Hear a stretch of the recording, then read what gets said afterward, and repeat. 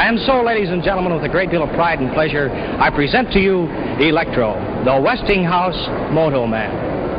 Elektro, come here. And here he comes, ladies and gentlemen, walking up to greet you under his own power.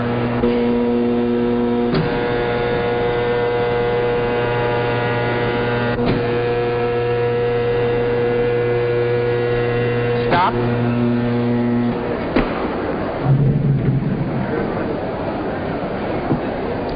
You see, all I need to do is to speak into this phone, and Elektro does exactly what I tell him to do.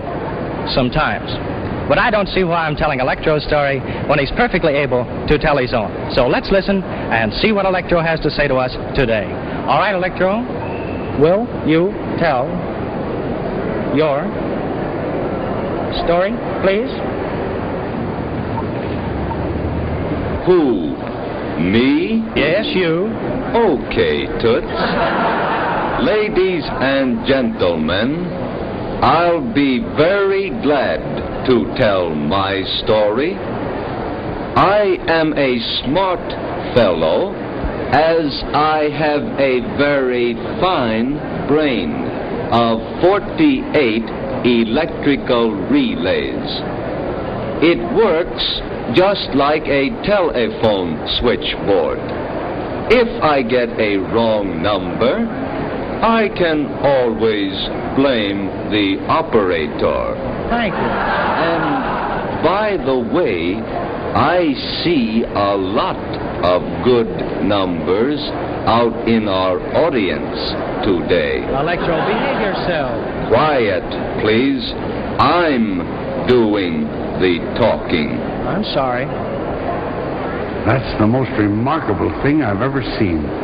Boy, what a guard that guy'd make on my football team.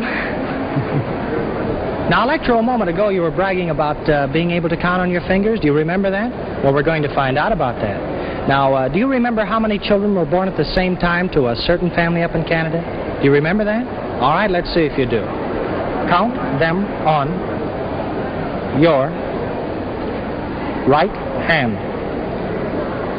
One, two, three, four, five. Five? Well, that's absolutely correct. Why, he's almost human. If he wasn't so big, I'd take him for an engineer. All right, now, Elektro, I know you enjoy these, and I'm really going to try to give you a nice pleasure out of these.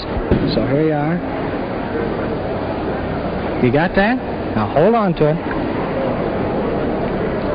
You may now smoke this cigarette.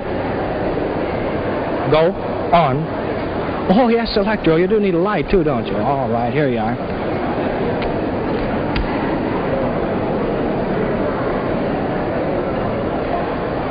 And, folks, he's only two years old, too.